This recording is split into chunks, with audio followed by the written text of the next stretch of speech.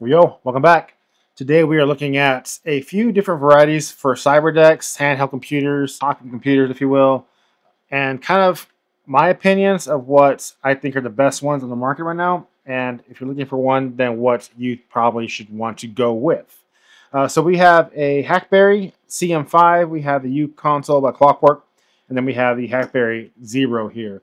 Uh, the CM5 was sent to me by a friend of mine, as well as the Zero here. Uh, so these are loaners, and then the uConsole is my personal one. Diving into it, we'll go to the Zero here. This is the Zero. Uh, it runs on a Raspberry Pi Zero, obviously W02W. You can see it right there. That's the little guy. And compute power is going to be minimal because of that. It also has two batteries on the back here. These are the BL5Cs that it runs on. You only need one, but I threw another one in there because you get more runtime. Um, but because it is a zero, it's not going to be very proficient or it won't have the full umph. Do a lot of the stuff like SDR. Uh, it can do it, but it's going to be very, very laggy. It'll be best for like probably gaming or Kali Linux type stuff. Uh, basic computing needs. Diving into the CM5 over here, the CM5 is running on a CM5. Uh, the differences is the size. The keyboard stays the same. It is using that BlackBerry style keyboard. Uh, the screen is also uh, slightly bigger on the CM5 version. The case obviously is bigger, better battery. This is a 3D printed case. This is a actual aluminum housing with a 3D printed uh, middle insert there that kind of keeps everything sandwiched together. Uh, on the top there, we have our sleep button, our light. On the side here, our full HDMI. We have a small little GPIO port, and then our SD card there. And then we have a, I think this is a sleep button, and then we have the screen or the keyboard and trackball on and off switch right here. And then on the bottom, we have little light indicators to show us our power level, as well as the main on and off switch down here and then a USB-C charging port. My complaint with this guy is that sometimes during use uh, or setting it down or just not even being aware of it, you can hit the on and off switch and then it, the unit will shut off. So not very ideal there. Uh, we have two USB-A's on the side here. Uh, going back to the zero here, we have the same features. We have the SD card slot right here with a small GPIO, and then we have uh, two USB A's. And then on the side, we have another USB A and USB C on the bottom for charging. The big complaint about this is the kind of track pads here for the Hackberry Blackberry style keyboard. Right clicking, copying, pasting, the things that we all do and that we all love for efficiency uh, is kind of difficult on these. And you could go in the kind of key board layout and create those shortcuts to do such things. I haven't done it yet, but there's an option. So if not, then you're stuck using a actual USB mouse or a wireless mouse uh, to gain access to a kind of mouse-like feature. Because if not, then you're stuck with the trackpad, and it's not the best thing. Like I said, if you want to do some SDR stuff, because a lot of you guys watching are into ham radio and or uh, just radio in general, uh, so you could do SDR stuff via SDR++, which you can download on this, or SDR Brown. And then, of course, plugging in a dongle like the RTL SDR like this. If you have a Pluto Plus SDR, uh, I believe that is also available for the SDR++. Um, and then, of course, if you wanted to dive in further and do some programming, you could do one of these other SDRs like the TRX Duo or the Web 88. Let's talk about let's talk about availability for these. Currently, this guy is sold out. This is the S. This is the Hackberry Pi Zero Two W. Uh, you do need the W on that on that uh, zero because if not, then you're not going to be able to do any Bluetooth or Wi-Fi features. You'll be stuck with adding a dongle like a caveman. So make sure that if you have one of these or you're going to buy one, definitely get the zero two W board. Uh, these guys run for, I think, 135-ish, not including the Raspberry Pi 02W, and those are an additional 15 to 20 bucks, depending where you source them from. So your total is going to be roughly about $160 for this alone. Uh, and I think it comes with one battery. Additional batteries like $7 for two of them on Amazon. So 168-ish dollars, $67 uh, for the standard Hackberry Pi.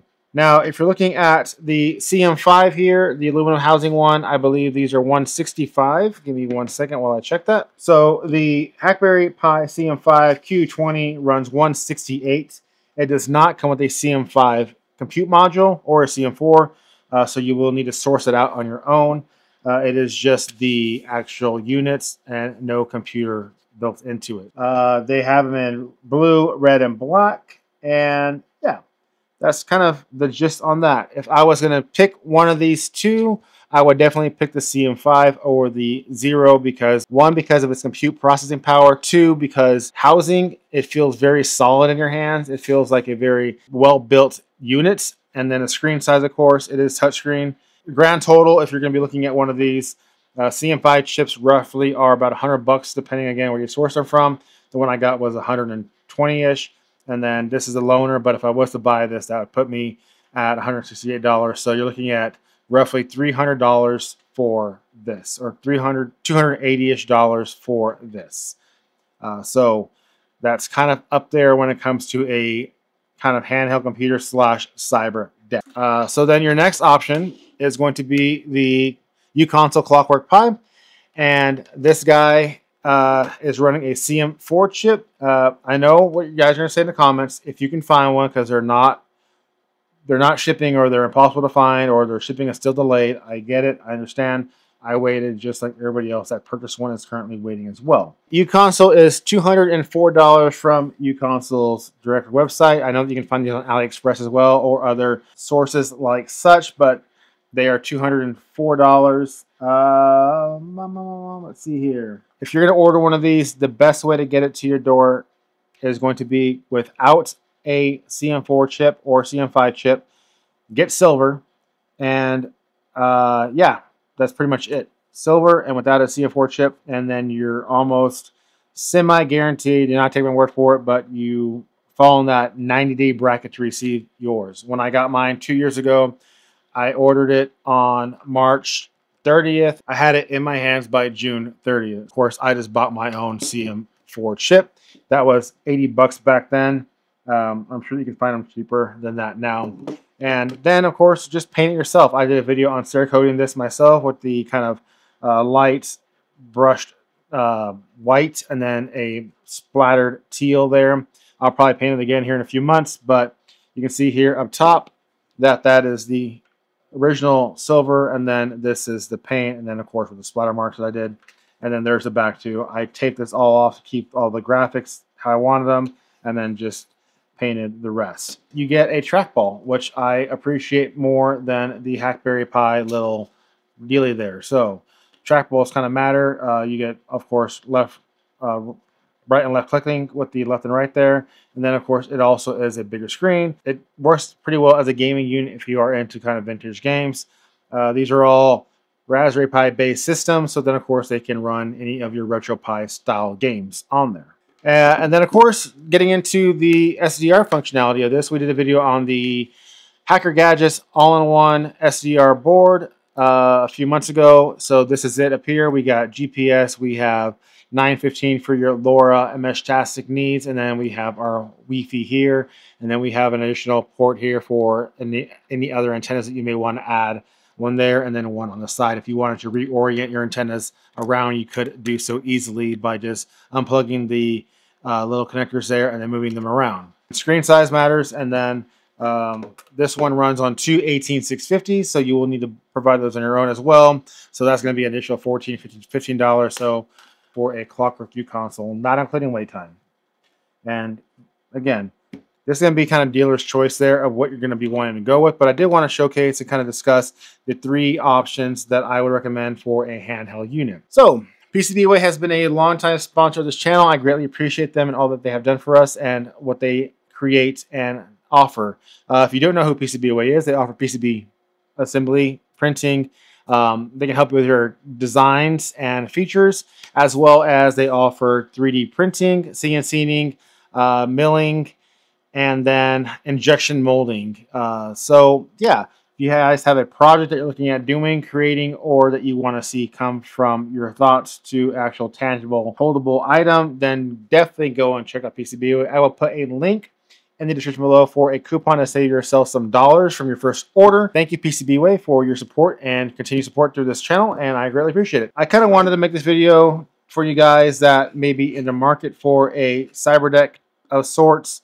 Christmas is right around the corner, so maybe you would like one of these in your stocking or under the tree, depending what your budget is. The uConsole, roughly 300 and some change by the time you're done with it, unless you already have a CM4 or 5 to plug in there. Hackberry Pi CM5 aluminum version as well, $168 unless you, and then plus the cost of the CM5, unless you have one to plug and play in there as well. And then the Hackberry Pi 02W, uh, I'm going to say, I think they're like 120-ish, 135-ish. The website doesn't have, have them listed right now, but if you can find one, that's roughly worth it to go for not including, again, the actual Raspberry Pi Zero. I appreciate you guys watching this. I know it's super short, quick video about just kind of my thoughts on CyberDecks and where they're at right now. But definitely go check out the websites, and I'll put links for all those down below. Uh, maybe help you guys kind of figure out what you want to go with. Uh, I don't mind these at all. Like I said, the CM5 or the Pi 02 version of this, it's just the trackpad is a little cumbersome, so then you're stuck using a little mouse. Uh, there are aftermarket keyboards coming into existence that may offer a trackball. Uh, and then it'll just be a new faceplate that offers a full screen area for the CM5 and possibly the uh, original Hackberry Pi there. If you guys have any questions, feel free to join my Discord. I'll put a link in the description below for that as well. And yeah, I appreciate your time as always and enjoy your week. And thank you. Don't forget to like, subscribe to us, my stuff, and I will see you guys in the next video.